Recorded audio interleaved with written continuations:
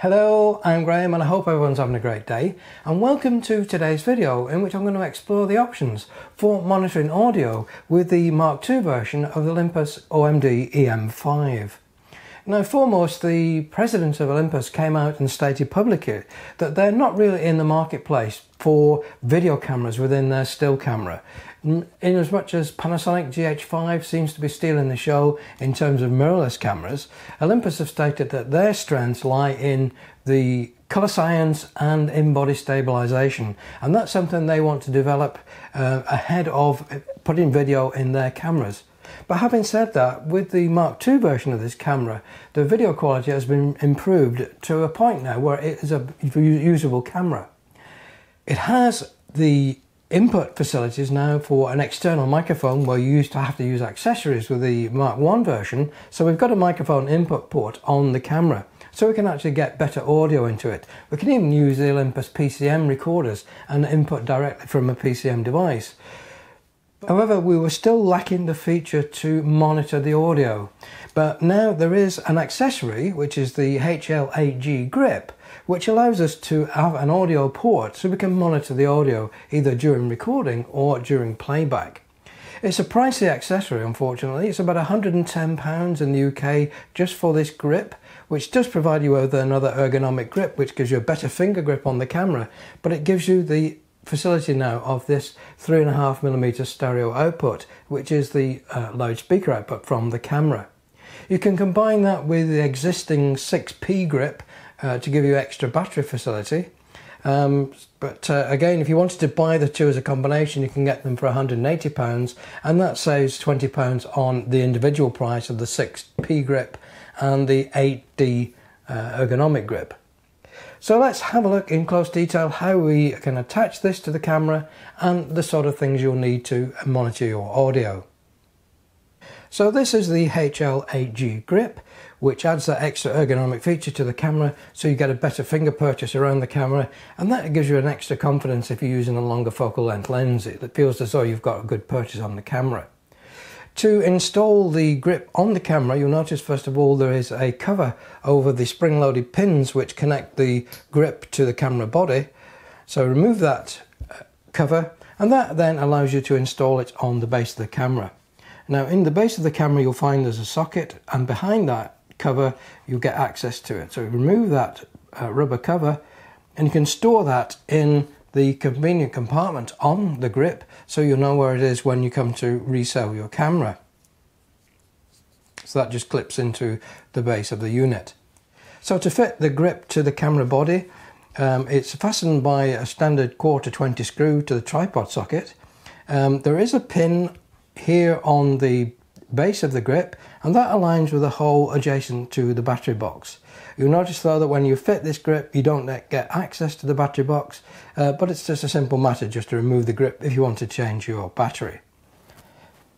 So to install it make sure the pins align to the detent in the camera base and then there is a knurled wheel here. Turn that clockwise and that drives the quarter 20 screw into the base of the camera like so. So once you've got that fully tightened you've now got the additional finger grip on the camera um, and that mates nicely with your thumb on the thumb grip and you've got a sturdy grip on the camera. You'll notice that we get a duplication now of the shutter button and the front control dial. By default, the front dial will control the volume of the headset output from the device, but you can program that to any of the other features that uh, you can with the front dial of the camera. Again, you've got the uh, landscape grip and the shutter button to take your finger away from this front control dial, which Depending on how you've got it programmed, sometimes it's quite easy to adjust that if you've got it set for exposure value compensation and not know you've got it. But now the grip is taken away, you can program that to another function and you're not likely to change exposure value compensation. So that is sort of a benefit in kind uh, by having this grip. But the main feature is to provide you with the audio output. And the 3.5mm jack is behind a little plug here on the base of the grip. So that provides us the output for a headphone.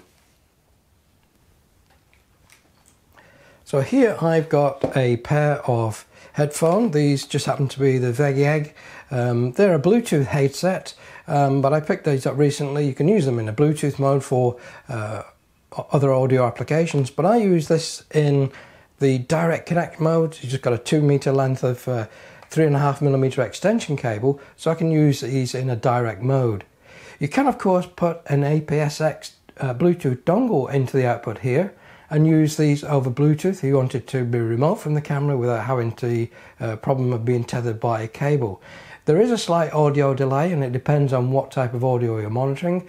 If you're trying to do your own to camera interview, then you'll find that that delay will be too off putting.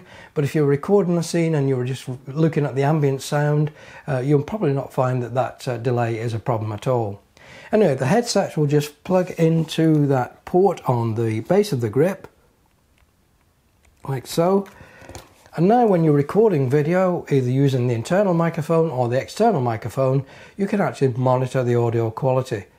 By default, the front control dial will control the volume of the headset. It might be worth considering, because the battery box is now covered by the 8G grip, to purchase the HL8D set, which gives you the portrait grip and the included battery box. So again, you can install it onto the 8G grip. If you were to install the original 6P grip that came with the uh, OMD EM5 Mark I, then you'll notice that the pins are slightly offset and the tripod mount is offset. So you haven't got an optical axis for your tripod mount. So if you're doing something like panoramas, you need to account for that. Again, you need to remove the cover from the base of the camera, store that safely, and then you can install the grip onto the base of the camera. Again, by a factor of a quarter 20 screw and the dial on the back of the device, which you rotate again uh, clockwise to drive that screw into the uh, HE grip.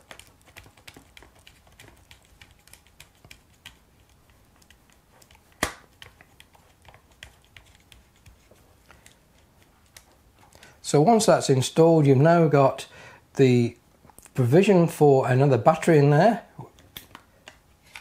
which is the standard Olympus BLN-1 battery. You have the option to program the way that the battery is used. So you can either use the internal battery before using the external battery, or you can use the external battery before using the internal battery. And again, that's set in the menu of the camera. This battery box also gives you the option to use an external 9 volt DC power supply. You can either use the Olympus original or a third party one, and that gives you then the option to uh, power the camera from a 9 volt DC power supply for time lapse or extended video shooting and you don't deplete your battery. Once you plug in the 9 volt external power supply, it overrides both the battery grip and the camera battery to provide 9 volt power into the camera itself. So that's a useful feature if you're going to be using this for time lapse or uh, stop frame animation or uh, extended video shoots. So that's the combination now with the 8G grip and the old 6P grip. The 6P grip gives you of course the uh, replication of your front dial and shutter button and the back control dial of the camera. You've also got two additional programmable buttons that you can use to program features uh, onto the body of the camera. So it gives you a nice grip for both portrait mode and landscape mode if you have both of those grips. And especially if you're going to use a telephoto lens, it does give you that extra confidence in the grip of the camera. Well that's it for this short video. You've now seen how you can monitor audio on the Mark II version of the Olympus OMD M5. You can see you can get some fairly good results and it's a very very capable camera now for shooting video if you want to shoot just 1080p, uh, 50p or 60p frames per second.